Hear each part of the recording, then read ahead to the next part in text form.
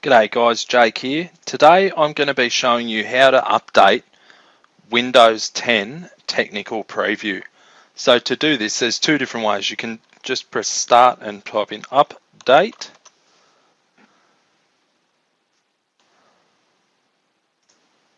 And as you see it'll do a search in here.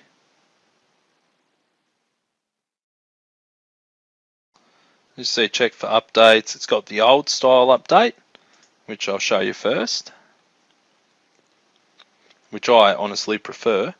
As you see, it says 10 important updates, or you've got the new style update in here, check for updates, and this will open the whole app, the Windows Update app in PC settings. As you see, it says the same thing. I personally prefer this in the control panel and you can review the updates if you want to.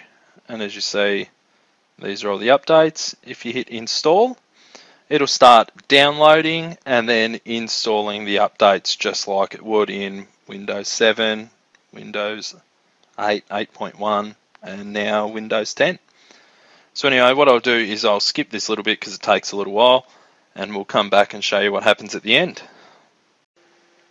once the update is finished, you'll get this little message saying, restart your PC to finish installing updates. Just hit restart now. And then it'll do its restarting and configurations of updates. And that is pretty much how you update Windows 10 in the technical preview.